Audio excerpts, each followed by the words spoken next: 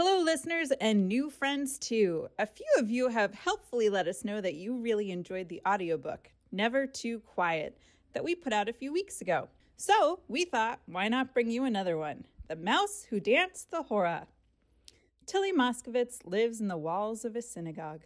She normally stays out of sight, but the joy of a wedding party dancing the hora lures her out. After all, it's a mitzvah to dance at a wedding. Will Tillie be allowed to join in entertaining the bride and groom? Let's find out together. The Mouse Who Danced the Hora, written by Pamela Mayer, illustrated by Christine Davenier, published by PJ Publishing. In a teeny tiny hole in the wall of the social hall at Temple Shalom, there lives a mouse. Her name is Tillie Mouscovitz. When Tillie hears music, she peeks out at the door of her mouse house. Music means a celebration at Temple Shalom's social hall. A wedding reception? How nice! Tillie says. May the bride and groom know nothing but happiness. Tillie's whiskers twitch as the band plays her favorite song. Such nice music! Now everyone will dance the hora. If only Tillie could join the circle and dance the hora too, just as the people do at many Temple Shalom celebrations. But for a mouse, it's not. Tillie says, stepping forward with the left foot towards the right, and then forward with the right foot to match. The people turn this way and that as they dance in a large circle. Tillie dances too, singing in her wee mouse voice.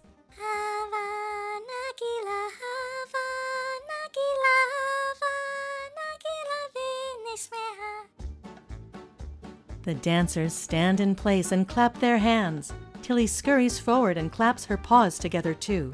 Two chairs are carried into the center of the circle one for the bride, one for the groom. The chairs are lifted up high. Tillie giggles.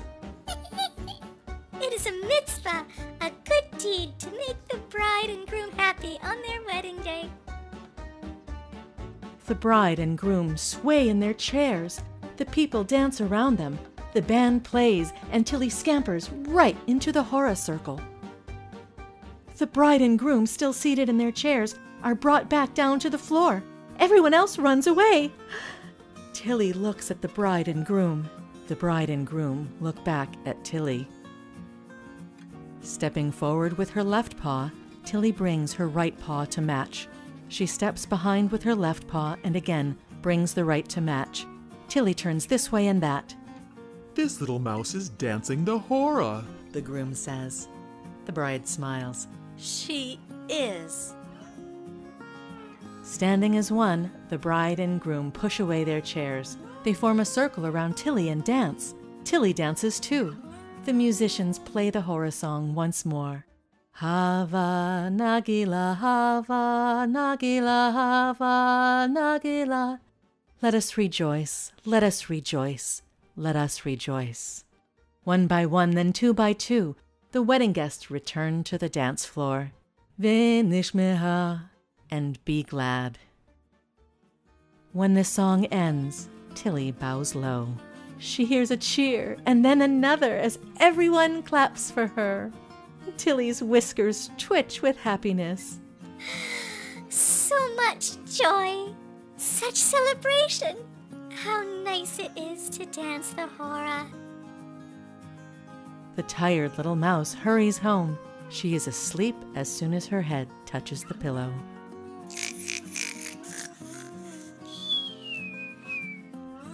Tillie wakes in the middle of the night.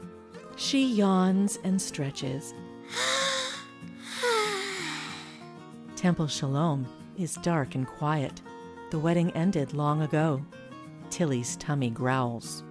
So maybe I'll find a crumb of challah, a morsel of cheese left over. Right outside her door is a surprise a teeny tiny slice of wedding cake, just the right size. Next to it is a note which reads To the mouse who danced the hora, from the bride and groom.